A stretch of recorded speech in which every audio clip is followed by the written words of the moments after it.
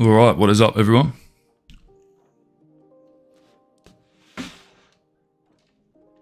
I did just finish recording this entire tutorial, but I had I forgot to um, remove this screenshot off of the chart. So it was literally a 30 minute tutorial. But then I go to click back onto OBS and I have this fucking screenshot up here. But regardless, let's go over it again. And I'll remember to take the screenshot off. And hopefully there is still just as much, if not more value in this version of the recording. So over the next few days, we might skip a few days over the weekend, but let's say over the next week, I will be releasing a new tutorial video. I haven't done any kind of tutorial video um, outside of the Crypto Coffee and Lo-Fi series in probably a year, maybe a little bit over a year now. Um, so I thought it might be good to release some of the information for you guys and compact everything into some easy to understand videos. So make sure you have the um, notification bell on over the next week or so as I release these videos. And let me know in the comments below if this stuff helps you. Really appreciate that. So for this episode, we're going to be talking about the key swing reversal pattern or the KSRP. So essentially, what is the KSRP?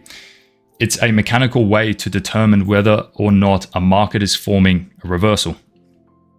So I'm sure many of you guys know what an SFP is, a uh, swing failure pattern or a lot of you may already trade sweeps. So you would wait for a sweep of a level and then try to enter. Okay, so the key swing reversal pattern is a mechanical way to trade SFPs or a mechanical way to trade a sweep. So I'm sure a lot of you spend a lot of time trading patterns, analyzing them, uh, reading books, watching videos on certain, uh, you know, trading methods or patterns, but a lot of what you have learned is completely fucking useless unless you have a mechanical way to actually enter and manage the position. No matter how much you learn or how much somebody teaches you, how much time you spend in the charts, whatever it is, if you don't have a mechanical way to enter and exit your positions, what good is any of the information that you've spent heaps of time learning? The answer is it's no good. so hopefully the KSRP and the tutorial that I'm about to go over uh, helps you actually enter some positions. Okay, so um, is there any?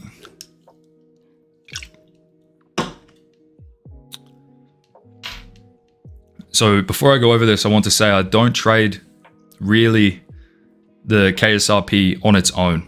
Essentially, what I'm doing is using the KSRP as a way to build a little bit more context into my positions. So the KSRP and my entire strategy in general is fractal in nature, meaning the patterns that form on the day one or the weekly or the monthly form the exact same way on the minute and even the second charts. Okay, so keeping that in mind, I don't really trade anything above the 15 minute time frame myself personally, but I do still use this pattern on the M1 where I execute most of my positions. So now let's remember to take this off. there we go. Um, I'm recording, everything's good. Sweet.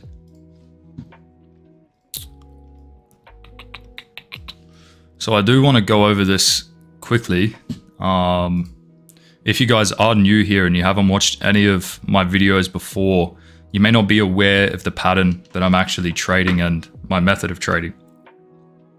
So essentially, I am just using one pattern and one pattern only to enter and exit every single one of my positions.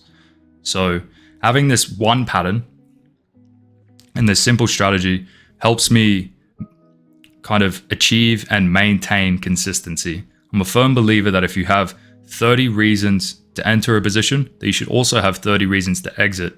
Now, if you have 30 reasons to enter a position, yes, it may um, build confidence in you when you're entering, but at the same time, how difficult is it for you to achieve consistency if your whole process and your whole methodology is so complex in nature?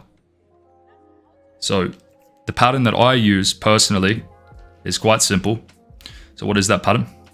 If I'm looking for shorts, so for example, we have an area of supply right here.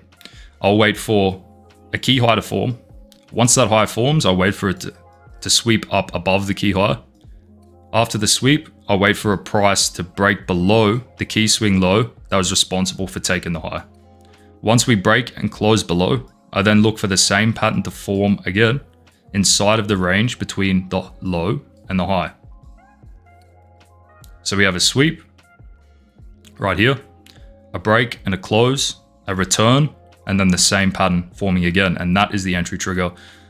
What I call these is a broken base. So the first pattern, the sweep and the break is a broken base.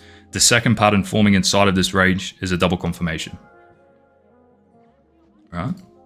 So the KSRP, even though there's a little bit more context built into the idea, it's still just this exact same pattern. So that is a short example. What about a long example? So let's say we have an area of demand right here. So we have a double bottom, we sweep below it, we then break up above the high that's responsible for taking the low. After we break up above that high, we return to the range and we form the exact same pattern again. All right, so that's a double confirmation in a long, long example. Um,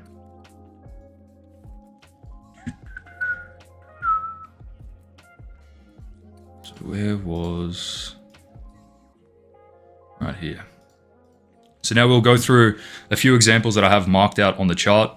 We have BTC, SPX, which is a live example that we'll go over. It hasn't yet been confirmed, but I figure going over my thought process as something is playing out live will probably be quite beneficial. And then we have um, a few examples on the dollar as well.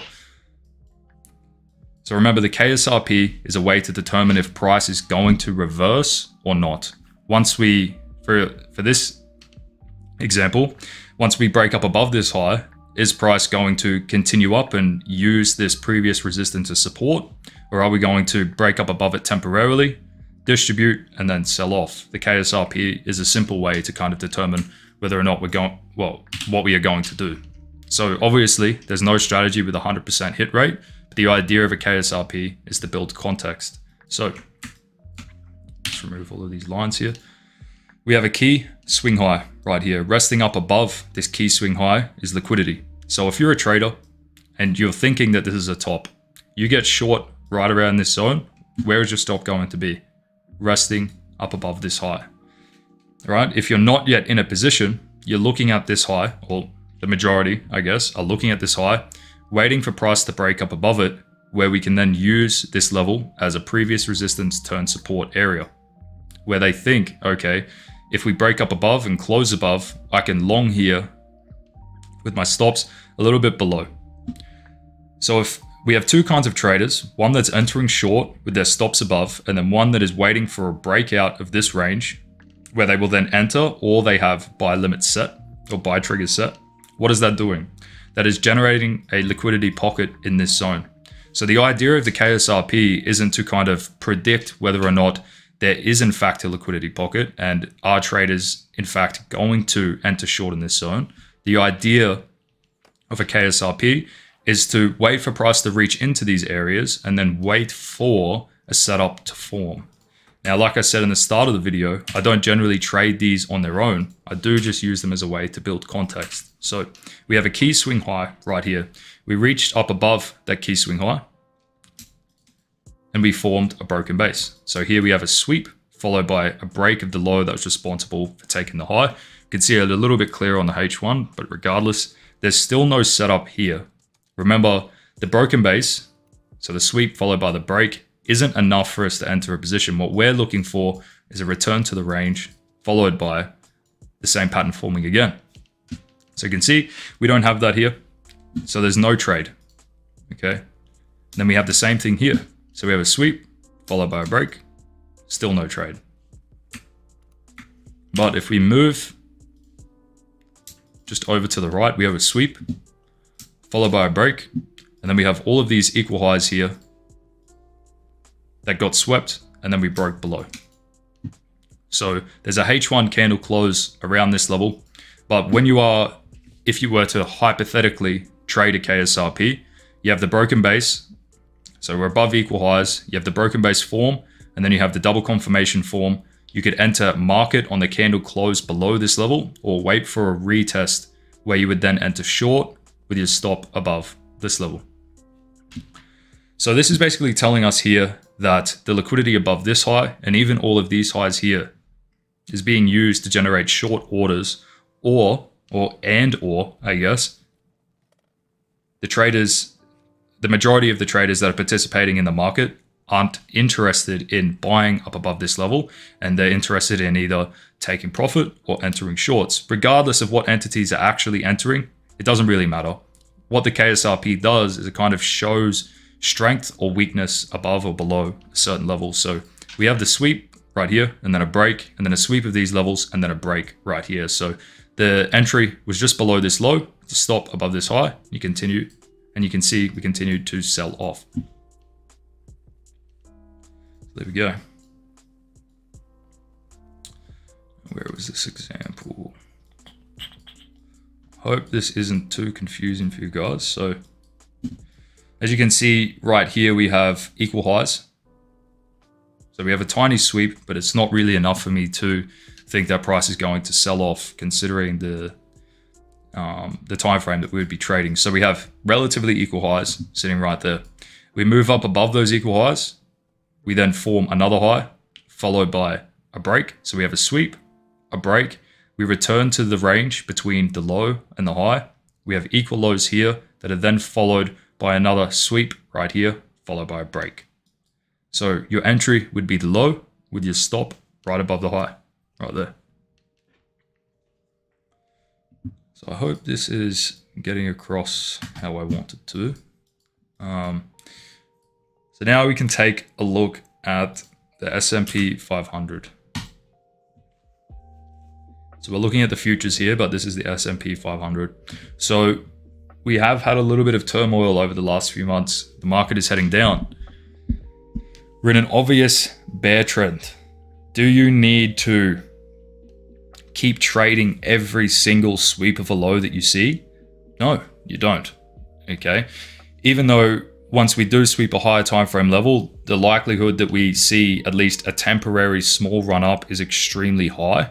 A lot of what you guys would be doing is looking for a move that we probably will not see.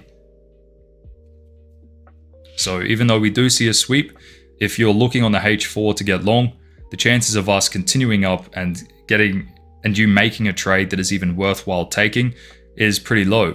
So what can you do to kind of predict, well, help predict whether or not a market is going to uh, fully reverse after taking a low, or is the market just going to continue tanking through a level? The KSRP can help with that as well. So we have a key swing high here, or key, key swing low, sorry. So this low is responsible for this entire leg up. We've recently taken out that key swing low. We can go onto the M15. So we'll drag this across. And you can see below that low, we have a sweep and a break, which often occurs, right? So we'll take a key low and then we'll see a sweep and a break and a temporary move up. This is not enough for me personally, I'm not telling you what to do, but for me personally, it's not enough to enter a position. Remember, we need to wait for the two confirmations. So once we reach down to this area, if we do get something like this, a sweep followed by a break inside of the range between the high and the low, then that would tell me that, okay, price is going to temporarily reverse. Now, something you need to keep in mind too is that we're on the 15 minute chart. If we get a KSRP on the 15 minute chart, does that mean that we're going to see a full reversal on the daily? No, not necessarily. So if we see it on the 15 minute chart, you should also wait for the pattern to form on the 15 minute chart and your target should be relative to the time frame as well. So I hope that all makes sense. I hope you guys get to, I hope you guys have taken some notes and get to learn from this. Um, if you are interested in the full strategy, it's all free. You can click the link in the description below, join up on the Discord, click how to join. Everything is all free no worries. So make sure you have the notification bell turned on. I'm going to release a few more videos over the next week. I hope I hope they help you guys out. No worries. Enjoy the rest of your day.